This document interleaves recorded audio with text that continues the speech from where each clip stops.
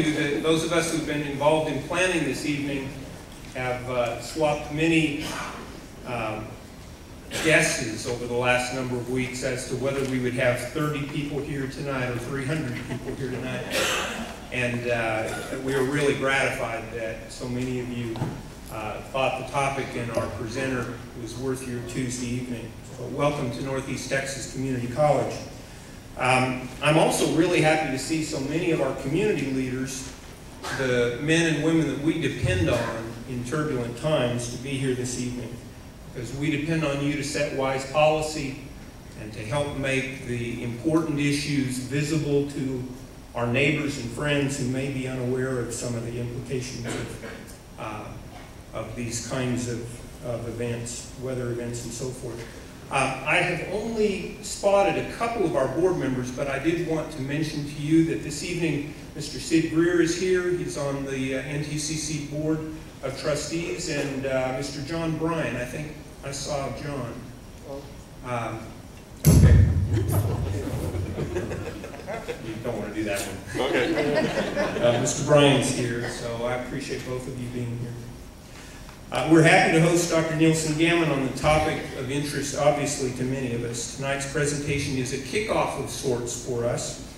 We determined last fall that our region needed a set of workshops and short courses focused on living through a drought, with the understanding that water-related issues will become the dominant political and practical issue in this state uh, for a long time uh, into our future, even after this immediate drought is finished. We recognize that many in our community have never lived through a, protr a protracted drought since they became adults. And now they own and manage acreages. Many live outside of town with septic systems and water wells. And often these folks, like myself, were raised in the city with literally no prior responsibility for uh, managing the land and for taking care of systems that can be impacted by water shortages. We're partnering with the Titus County Freshwater District and the Northeast Texas Municipal Water District to bring you tonight's session. Thank you to Walt Sears and Daryl Grubbs for their help on this project. I hope you find it practical and useful. I also hope you'll take a moment while you're here to complete the survey on the backside of your program. We'll use those results to help us determine whether there is an interest in additional presentations on water-related topics and what kind of information you want provided. This is your college. We exist to serve you in this surrounding region. Please let us know how we can do that. And now, Walt Sears, General Manager for the Northeast Texas Municipal Water District, uh, will introduce tonight's guest speaker. Walt?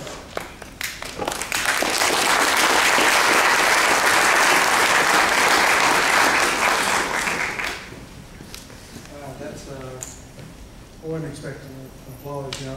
I I do want to say on, on behalf of the district that we appreciate the college, Dr. Johnson, so if there is an applause out there, we ought to be thanking the college for the the facilities and for their coordination and their help.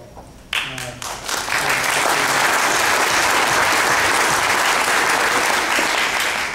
And um, I'll get right to the introduction. Uh, John Nielsen Gammon is a professor of atmospheric sciences at Texas A&M University in College Station and serves as the Texas State climatologist. He's been doing that since uh, 2000. The state climatologist is also the designated member of the Texas Drought Preparedness Council. And I want to take a moment and say, all of Texas has been suffering through this drought, but on a state level, we do have state leaders that do try to uh, prepare us for that. And I want to thank him for his role as a state leader on that subject. I appreciate that. He is uh, a uh, member of several professional organizations. He teaches weather forecasting and climatology and does research in computer modeling, drought monitoring, historical data quality, and jet streams.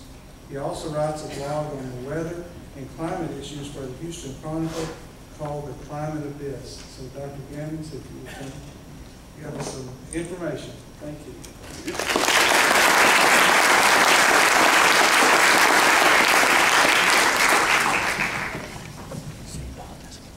Okay, talking about drought and climate weather in general is a pretty broad subject, and I'm glad I'm just essentially kicking off the, this series, because there's no way I can touch on all the information. What I'm gonna focus on is uh, a summary of the drought as it unfolded in the state, um, how usual or unusual it is in a historical perspective, which I mean beyond most of our lifetimes, and then transition into what the outlook is for the future and give you some understanding of um, the science behind that outlook, how we how we know what we do know and why we know as little as we do. So, um, this was basically the height of the drought back in September. This is the U.S. Drought Monitor, which um, has been around for about 11 years and has been adopted by the USDA for making decisions on who gets drought relief and who doesn't. So we pay a lot of attention to provide input on that for conditions on the ground within Texas.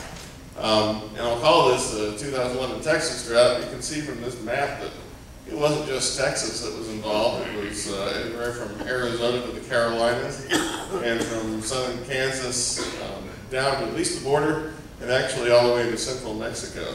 We happened to be right in the center of the drought during 2011. Things have improved a bit since then. Um, we've got uh, quite a bit of rain, especially in uh, north central and uh, parts of northeast Texas. If you came from, uh, drove in here from north of the campus, you'd have more rain than if you drove in from south of the campus. You can be uh, envious or grateful, depending upon your situation.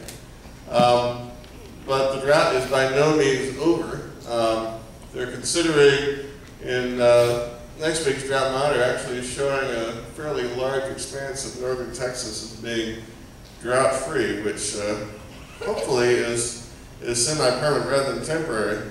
But meanwhile, you've got areas that are labeled as uh, D4 or exceptional drought. Those are conditions that are supposed to happen uh, uh, maybe twice a century for a given type of drought. And uh, a lot more of the state is an exceptional drought than is, is out of drought at this time. Uh, here's a way I like to basically look at how severe the drought is historically statewide. What we're doing here is we're looking at uh, every single um, December of the climate record, which goes all the way back to 1895. Every everything I say that's a record or something like that comes from 1895 to the present. And each one of those lines shows the amount of rain on the uh, up and down axis versus uh, length of time over which it's accumulated. So for example, we care about the 12 months or one year's worth of rainfall ending in December. Uh, that's the point along the x-axis to look at. And uh, you can see there's a range of possibilities for that that occurred historically. Uh, 2011 is in red, if we look at that value, um, it's uh, about 15 inches. So statewide, we received 15 inches during the 12 months ending in December. Um, we received about 9 inches in the 6 months ending in December, and so forth. Uh, there's a couple more lines down there below the rest of the group. I mean, normally we get somewhere around 28, 29 inches of rainfall statewide. So we're talking about just a little bit more than half of normal rainfall. Um, and three years have had that. The one I talked about, the current one, red, then in green is 1917, which, uh, depending upon which data set you use, still holds the record for driest calendar year. Uh, it's almost a century ago. And then 1956 is a year you're perhaps more familiar with. That was the uh, tail end of the drought record. And uh, just to just to make the impact as bad as possible, the, the driest year of the drought was also the last year of the drought. So that was a drought of record for most parts of the state. Looking at it a longer perspective, this goes all the way up to 48 months, and uh, really on the long term, this drought is not nearly as bad as, say, the 1956 drought was because it came on the heels of several dry years. So this is so far has been a short-term drought. It's by no means the worst drought that Texas has seen, Uh, but on a statewide basis, it pretty much ranks as the worst single-year drought on record. Uh, because it did set the record for um, driest 12 consecutive months, uh, which uh, ended unfortunately into the summer. So it was as dry as it possibly could have been during the summer. We got statewide only a little more than 11 inches of rainfall during that 12-month period. And uh, looking across the state for that same period, pretty much every corner of the state had uh, extreme drought. In blue, we're looking at the amount of rain that fell during that 12-month period. Uh, the red columns, right behind the blue ones, are the previous record for the period. So this broke records throughout the state. Only the north central climate region didn't quite manage to break its record. And all of those records are well below the normal value, which is the green column. So most of the state experienced half or less than half of its normal rainfall.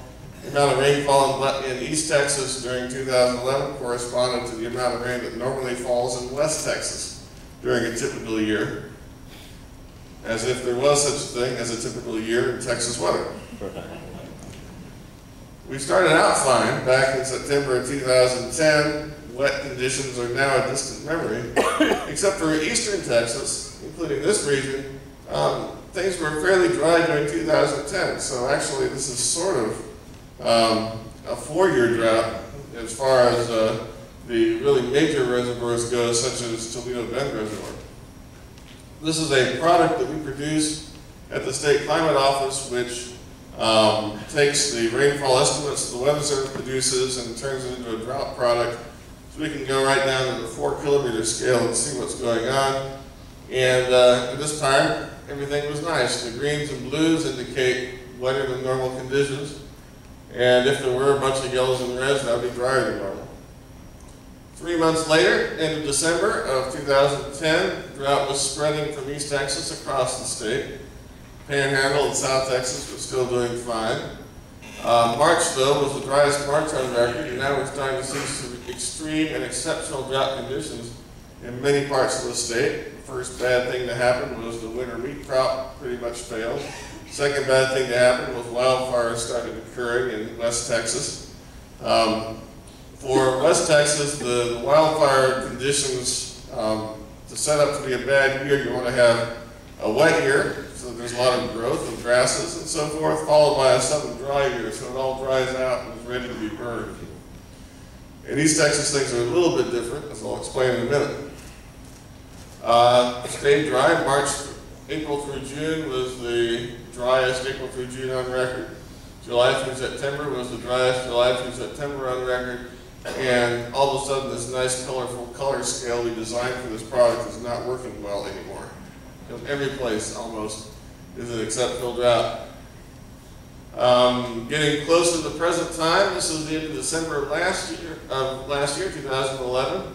And uh, over the six-month time scale, there parts of the state doing well and parts doing poorly. And now the most recent plot shows over the past six months has actually been significantly above normal rainfall in the Dallas area, and at least uh, somewhat near normal extending out into parts of East Texas.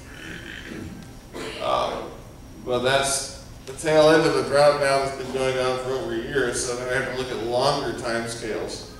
Um, the rain that initially occurs to, to perhaps end the drought or immediately the drought goes into soil moisture, which is good for farmers and ranchers, provides moisture for roots, provides moisture for planting. Not much of the initial rain goes into streams and lakes and reservoirs, so water supply issues continue um, long after farmers start being able to make use of the water. And then eventually the water supply issues resolve themselves as there's enough moisture that the rain can run off and flow into the reservoirs. Um, this is a, a plot of the uh, uh, some reservoirs in nearby areas. This is Lake of the Pines, and unfortunately the tail end of the plot gets cut off, but presently um, we're running close to the uh, minimums experienced in 2005 and 2006, but we've started to see some uh, improvement in, in uh, lake levels over the past month with the rains we've gotten. Lake Ray Hubbard, closer to uh, Dallas Fort Worth, is actually, uh, cut out, it's actually about halfway back up to its capacity. And most of the lakes in the Dallas Fort Worth area are running at capacity now, so as far as they're concerned, um, the, the, the drought is, seems to be over, as long as it doesn't start up again soon. Now, so it was unusual in terms of rainfall. It was also unusual in terms of temperature. You may have noticed last year was kind of warm. This is a plot of rainfall during May through August versus temperature June through August statewide. And uh, I'm showing everything from 1895 through 2010, just because it's always fun to plunk 2011 on this graph. It just doesn't belong with the rest of those points. It was uh, drier than it ever has been in the summer, and it was warmer by far. We came within a couple tenths of a degree of setting the all-time summer record for hottest summer in the lower 48 states. That record goes to Oklahoma in 2011.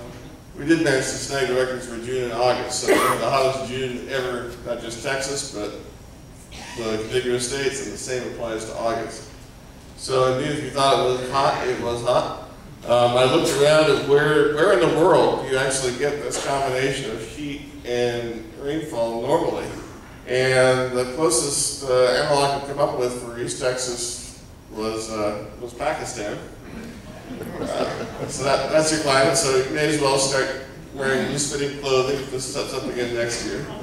Um, although, in truth, there are parts of the, there are some, some parts of East Texas, there's no place in the world that had weather like that. Mainly because if this were to happen year after year, you wouldn't be able to support the trees that are present and you'd have much different ecosystem.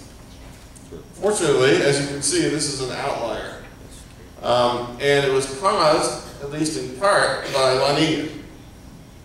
So let me talk a little bit about that. These are some maps of the uh, sea surface temperature departures from normal in the Pacific Ocean. You can see Australia over there on the lower left of each one of these panels, um, North and South America over on the right.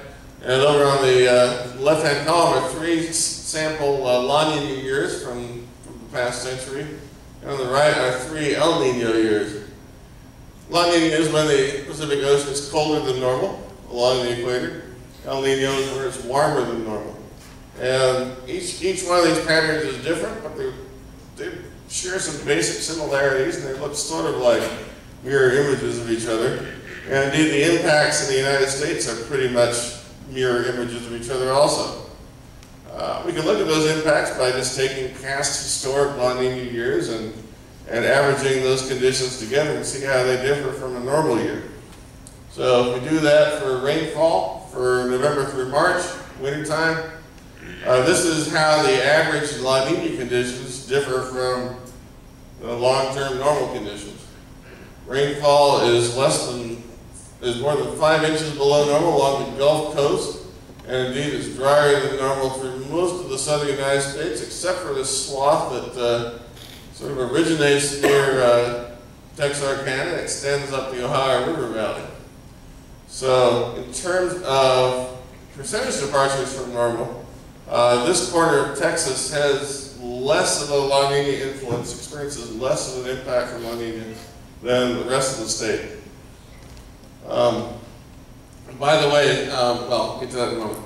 Um, this is though the average conditions. It's an average of several years. Each year is going to be different because weather happens. And this was the what happened during 2010 and 11. Uh, we actually had the second driest winter on record for Texas. Um, it was uh, drier in Texas than elsewhere, even though you wouldn't necessarily hone in on Texas in that composite. So we happened to be the unlucky state during last year's La Nina event. In addition to cool temperatures, you also tend, I'm sorry, in addition to lack of rain, you also have warmer temperatures than normal during La Nina. So this is the average temperature departure from normal. runs about a degree, degree and a half Fahrenheit on average warmer throughout the state of Texas. And in a typical year, your results may vary. It was above normal through most of the southern United States, Uh, this was uh, ranked 94, out of where 116 would be the warmest on record, so fairly high up on the scale. Uh, you can find exceptions. In this case, the southeast was cool, but it should have been warm. Okay, now the it's hard to keep La Nina and El Nino straight. The basic thing to remember is the LA in La Nina stands for less agua. Um, that's, that's how they call it La Nina. No, not really. Um, similarly, El Nino stands for extra liquid, so you can remember that relationship. Um, but it does seem odd that a something going on in the Pacific Ocean should have an effect on our weather and such a big effect. So I'm going to show this uh, video of um, basically take you back to, um, since this is an institution of higher education, take you back to grammar school days and remind you of the basic heat engine that drives the circulation of the globe is the sun um, striking the striking the tropics and providing that difference in temperature. So let's run. Since insolation is strongest when the sun is directly overhead, the equator is heated more strongly than other places on Earth.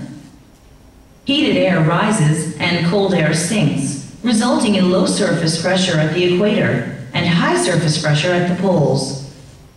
The engine of low latitude atmospheric circulation is the Hadley cell. Convection occurs at the thermal equator. Poleward moving air is forced to descend. This produces two subtropical belts of high pressure, centered at about 30 degrees latitude. Surface winds spiral out from the subtropical highs, moving toward the equator as well as the mid-latitudes. Above 30 degrees latitude, wind patterns are more complex in a belt of conflict between polar and subtropical air known as the polar front. The latitude at which the sun is directly overhead changes with the seasons. Since Hadley cell circulation is driven by this heating, we can expect elements of the Hadley cell to migrate as well.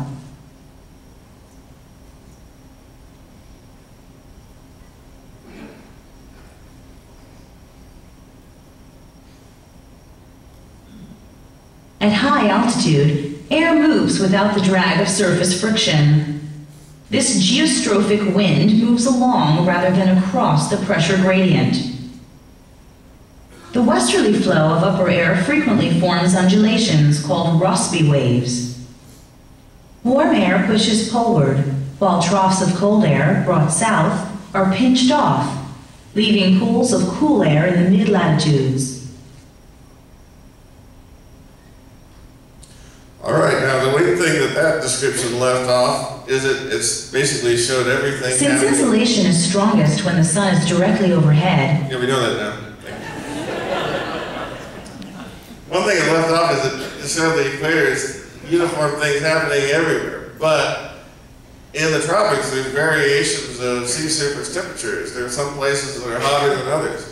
And the air that rises up during the convection, during the thunderstorm, is going to rise up most vigorously where there's the greatest amount of heat at the, at, at the ocean surface. And what El Nino and La Nina do is they change where that heat is located. So they change where the major amount of updraft is taking place. And since one of them makes the tropics cold and one makes it hot, they're changing the pole to equator temperature difference, so they're changing the strength of the wind also. So if we go back to the, uh, the slides, the, uh, what we're looking at is, uh, sorry, I'm hitting several buttons simultaneously. Uh, what we're looking at is uh, the uh, upper motion being concentrated far to the west during uh, La Nina year at the same time as the tropics are cool. That makes the, the jet stream weaker. It makes the jet stream farther north because we've got less of this strong flow. So storms tend to miss us in Texas because they're moving farther north with the jet stream. Um, secondly, um, that, this changes the pattern of uh, the waves in the jet stream were showed up near the end, and we happen to be just in the, we happen to be just in the right place down downstream, so that we're in a place where a ridge tends to develop. So La Nina is making the jet stream farther north where we are, and that means we end up with a cooler, drier, sorry, warmer and drier winter. In the summer, as the animation showed, the jet stream everywhere moves farther north, and we're, we're out of the influence of the jet stream. So that's why La Nina and El Nino don't affect our summertime weather as much as they do our wintertime weather.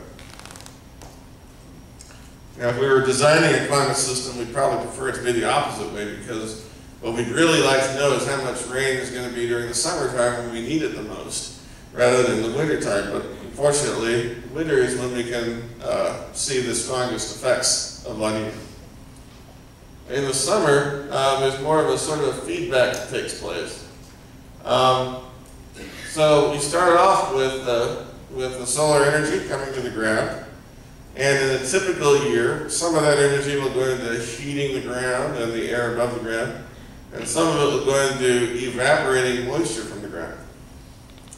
Well, first thing that happens if you have start off the summertime with less moisture in the ground, then the plants will be uh, uh, utilizing moisture at a lower rate, there'll be less moisture to evaporate, and so a greater amount of the sun's energy goes into heating the air and the ground, making the uh, air temperature higher. Second thing that happens is with less moisture, there's less clouds, so you have a greater amount of energy making it to the ground, which means the amount of heat available for the ground and the atmosphere is even higher yet. And of course, hotter conditions accelerate the evaporation, but a little moisture is still available. So we don't get very many thunderstorms and we stay dry. It's this positive feedback loop that uh, pretty much takes a tropical storm for us to break out of once it gets started.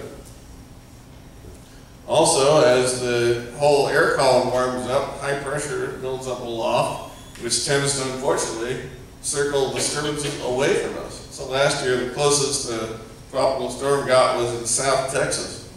And it hit land and, and that was about all that was to it. Um, now, you, sometimes you hope there might be rain from hurricanes. Um, it's like, and indeed, people were, some people were hoping for a hurricane last year. And indeed, one, one's effect of La Nina, because of the way it affects the wind patterns globally, is it tends to allow for more hurricanes to develop in the Atlantic. And I used to think that was a good thing, given more chance of rain, but it turns out that the, the warmer Atlantic means you have more thunderstorms there and less thunderstorms elsewhere, which is over land where we are. So all the action's over water and we get fewer thunderstorms when we have a, uh, a warm Atlantic and an active hurricane season. So unfortunately, um, even though hurricanes may go up, our rainfall does not.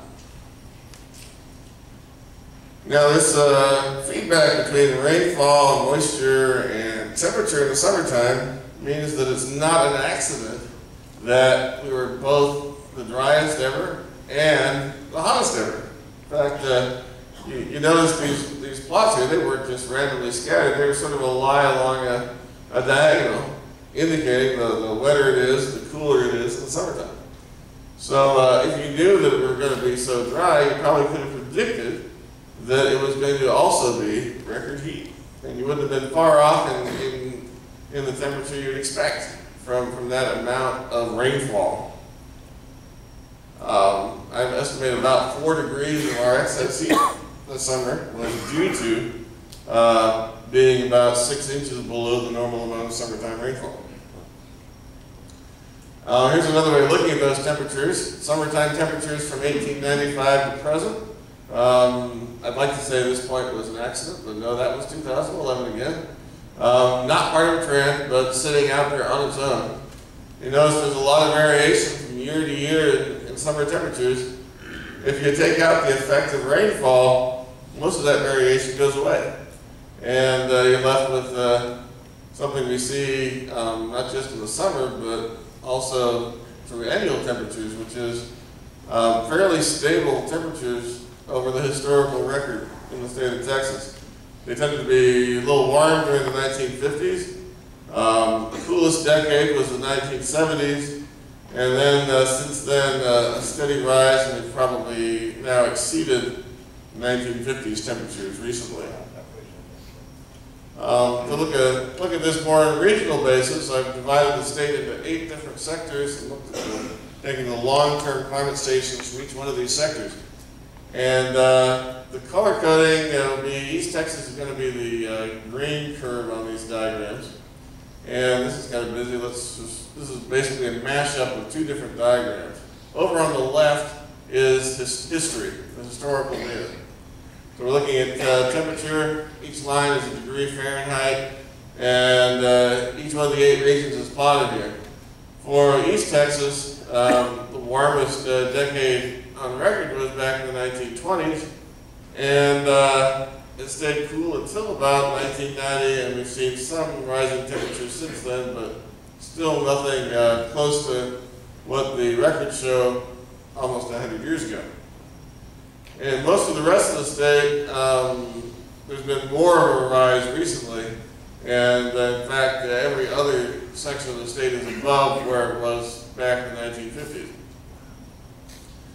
Now, what I've plotted here on the right are climate model projections based on um, carbon dioxide and greenhouse gas increases in the future.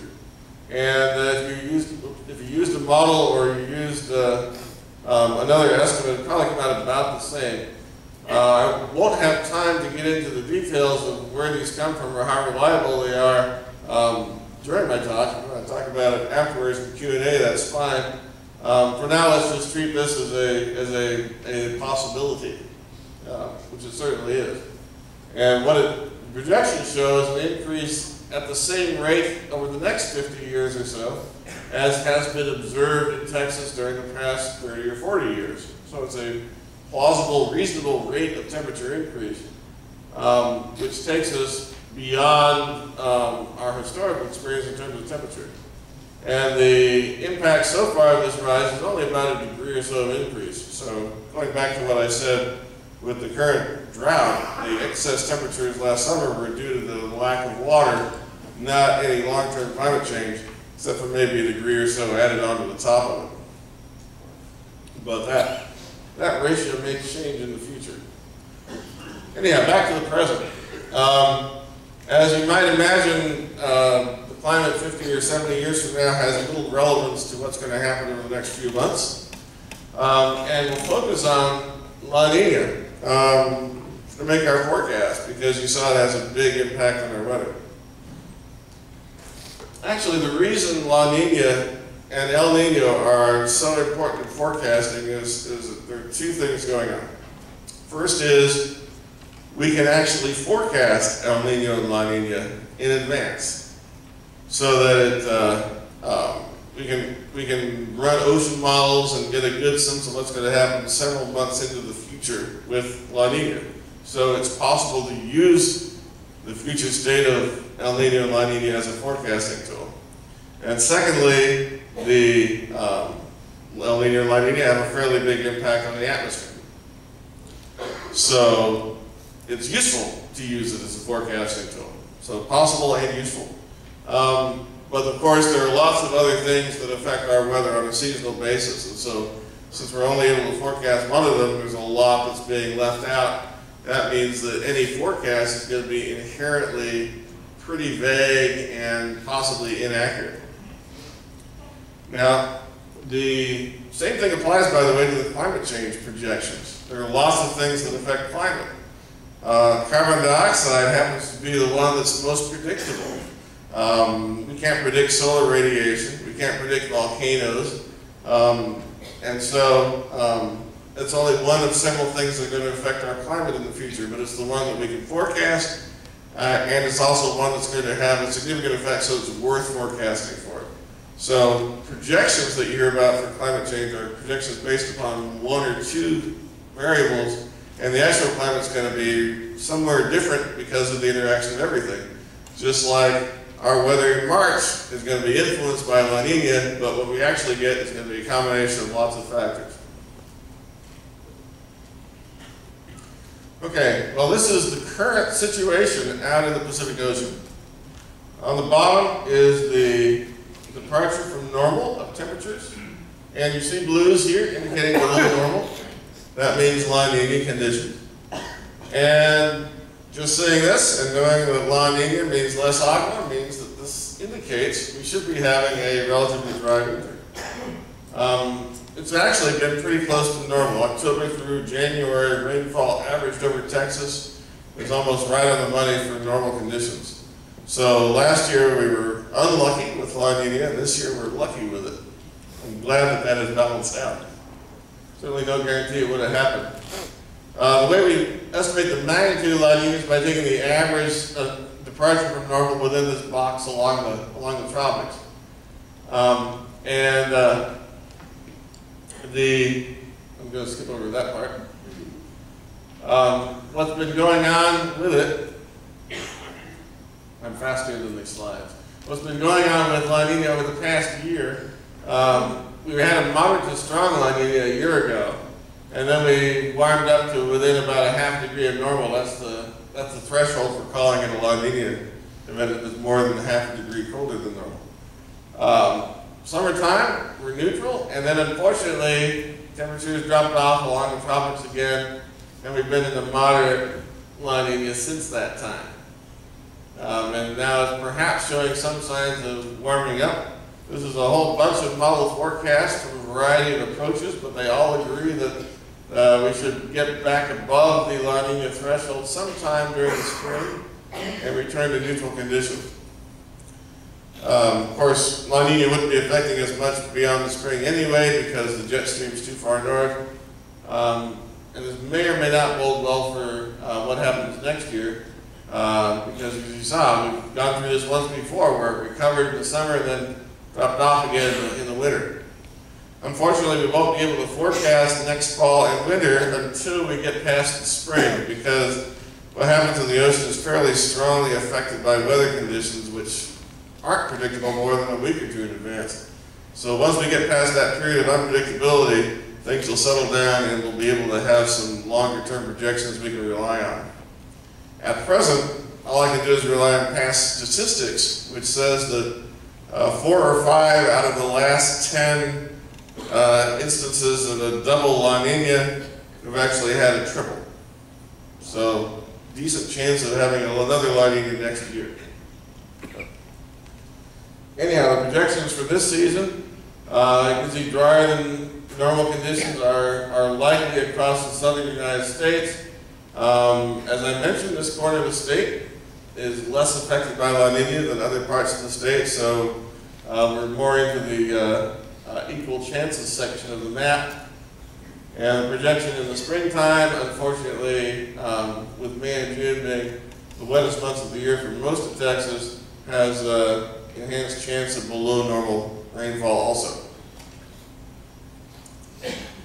Let's see, now, these maps look semi-intuitive, but actually the 40 means there's a 40% chance of or greater of the uh, rainfall during this three-month period falling into the driest third of historical rainfall events during the past 30 years.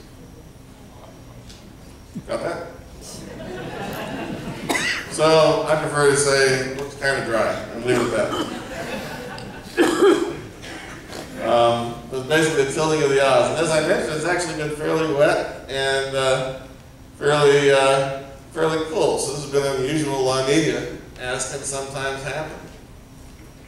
Um, now I want to let you in on uh, an experiment that, that, we're working on right now. Um, these are some preliminary results, so don't tell anybody. Address the question, how, how much of our weather is controlled by the sea surface temperatures? If you could predict the ocean perfectly, would you know what was going to happen? Uh, we certainly know there's some influence there with La Nina and El Nino, but how much, how much is, is really going on? So here's, here's the experiment that we did. Uh, took a, a weather prediction model, the same sort of model that would be used to forecast the weather a few days in advance. It will simulate the evolution of storm systems. It will simulate where thunderstorms take place and, and simulate changes in the jet stream position, the whole bit. And uh, started out in 1950 and ran it for 54 years with the sea surface temperatures specified as what actually happened during that period. and see what happens to the weather. Now, what actually happens will be quite random because the weather's going to evolve in some random fashion which will only be slightly influenced by the sea surface conditions. So to get past that randomness, you can actually do repeat this experiment um, 85 times with slightly different starting conditions for the atmosphere. And the weather at any given day in each of those 85 runs will look completely different from each of the other 85 runs. But if you average them all together, you'll be averaging out all that random weather stuff and you'll find out how much of what's happening is actually related to variations of temperature in different parts of the oceans. So here's, uh, here's the result. This is the average of each of the years worth of runs. So there's 54 dots here, one for each of the 54 years. And we're plotting um, the values of the El Nino index from left to right. Anything to the left of minus 0.5 is La Nina condition.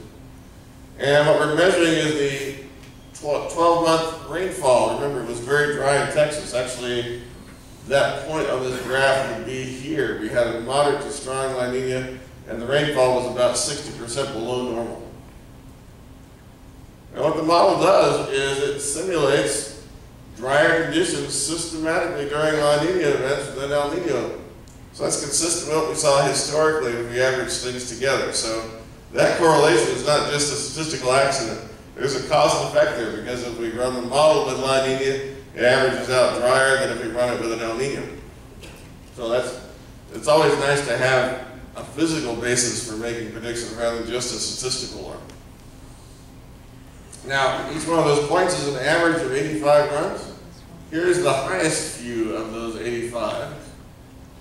Uh, you still see that slope, but the point I want to make is that no matter how strong a La Nina we put into the model, it was always possible in a few of the years to get above normal rainfall in Texas. So La Nina doesn't guarantee a dry year. And in fact, historically, four out of five La Nina years actually come out above normal rainfall for the state. So again, the model is agreeing with what we see historically. Um, on the dry side, just about everything can be drier than normal, even during an El Nino. Although none of the models managed to pick out an event during the um, 54 times 85 runs, you can do that math if you want to. Um, during that, maybe 3,000, 4,000 model runs, none of them produced a year as dry as what we saw during, 19, during 2011. So, um, Nina was part of the answer, certainly not the complete answer, and it's going to take a while to figure out what the complete answer was. Uh, certainly bad luck has something to do with it, just as it has something to do with this year so far being close to normal. Okay, um, I mentioned warming temperatures. Um, picture on the long term for rainfall is not nearly so clear because Texas is on the boundary between where the long-term projections project drier conditions and where they project wetter conditions. That's true both for uh, um, the wintertime and the summertime. So we look at trends of rainfall across the state, the projections are well within the historical envelope. So even if climate change has a big impact on temperatures, uh, as near as the at least according to models, it'll have a fairly small effect on rainfall. Uh, we don't need to worry about this as much as uh, be grateful for this say, the 10 to 15 percent increase of rainfall over the past century that's been observed in every region of the state. And uh, the other thing to point out is there's uh, quite a bit of variation from decade to decade, so that uh, this is smoothed over 20-year periods um, and you know, variations of 10 or 20 percent of rainfall over 20-year periods. Um, so this natural variability um, is much more important on the short term than the um, than climate change is going to be for rainfall. Now, let's get to what's causing that variation on a, on a multi-year time scale. Okay, we'll start with the observations and then go to the models again, and we'll wrap it up right after that. So here's uh, to take the southern United States, this black patch here, and look at the, the correlation between uh, basically flood or drought conditions here and sea surface temperatures throughout the globe. Try to find if there's some, some relationship between those two. And there's a lot of color here. Um, the reds correspond to places where warm temperatures are, are seen whenever it's wet in the southern United States. And the blues are places where cold temperatures are observed whenever it's wet in the southern United States. Um, this part probably isn't much of a surprise. La Nina tends to be cool, is when it's cooler than normal, and it's also dry here. So that fits. Um, I didn't talk about the Indian Ocean affecting us, and the reason I didn't is because it probably doesn't affect us. Um, if you pick out the patterns of temperatures where things tend to change simultaneously in different parts of the ocean, you actually, you actually can extract this particular pattern, which what it says is that whenever you have warmer than normal temperatures in the tropics and the Pacific, it also tends to be warmer than normal in the uh, Indian Ocean and colder than normal in these spots. So um, not all of this map is um, all of these parts of the globe affecting us. It's actually mainly this part of the ocean affecting us and the rest of the ocean being along for the ride. Happens to be change, having temperatures change at the same time. Now, time series of this is kind of interesting. You see a lot of up and down over the past century. This is uh, basically the how strong this pattern is in any given year. And the ups and downs correspond to El Nino and La Nina. Positive is El Nino, negative is La Nina. So when we saw these dips down here, that's when it tends to be dry. Now in addition to this annual stuff, there's also some stuff going on with slower time. You can see it tends to be positive during this period, tends to be negative during this period, tends to be positive during this period. So there's multi-decade phases of um, warm conditions in the tropical Pacific and cold conditions in the tropical Pacific, which are related to the rainfall we get here in Texas. Um, a couple other patterns that emerge. One is just uh, the same warm everywhere. That's basically the, the large-scale warming signal, which is pretty steady increase without much interannual variation. This other one here is the Atlantic Ocean, which um, shows up statistically related to our rainfall. When the Atlantic's warm, we tend to be dry.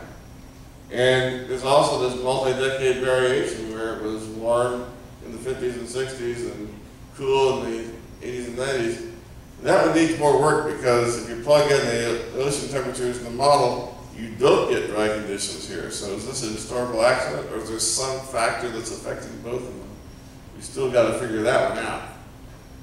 Uh, but if you line things up, the Pacific Ocean was especially cold in the 50s and 60s. And the Atlantic Ocean was especially warm in the 50s and early 60s.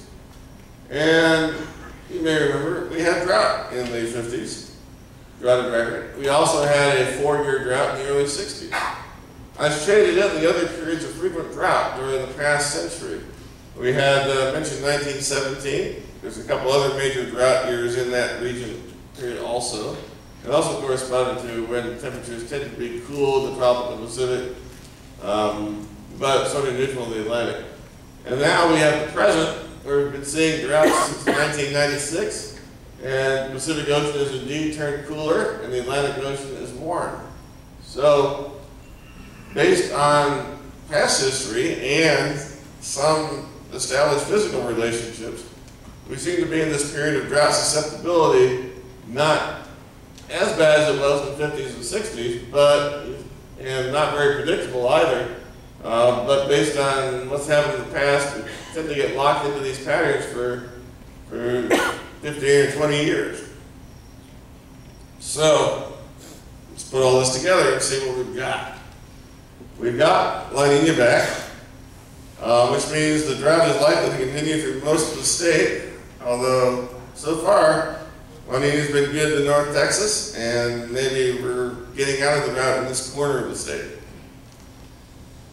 We're in a period of drought susceptibility because of the long-term temperature patterns in the Pacific and Atlantic Ocean, which favor drought in the southern U.S. And I don't know how long that period will last, maybe another few years, maybe a decade. Um, there's a lot of work going into trying to forecast those sorts of variations, just like we forecast El Nino and La Nina. Um, we're not there yet because it happens so slowly. It'll be, it'll be a while before we can tell how good the forecasts are. Um, so hopefully in a few years we'll be able to make that sort of forecast. Uh, what we had during this period of drought susceptibility is dry years and wet years. 2004 was wet, 2007 was wet, 2005 and 6 was dry, and so on and so on. And I don't know whether we'll have the same thing going forward. Looks like we might have a wet year going right now, we're lucky. But we know from the past, from the 50s and 60s and tree rings well before that, that multi-year droughts are possible. Um, looking at the really long term, I mentioned precipitation changes with climate change are fairly small compared to the variations we normally get. But the rising temperatures mean that evaporation is going to be an increasing component of future droughts. Um, certainly wasn't the cause of the high temperatures we had last summer, but it didn't help. It added perhaps a degree or so. And in the future, if you're worried about water planning 20, 30 years down the road, we'll be talking about maybe two degrees warmer, perhaps three degrees warmer.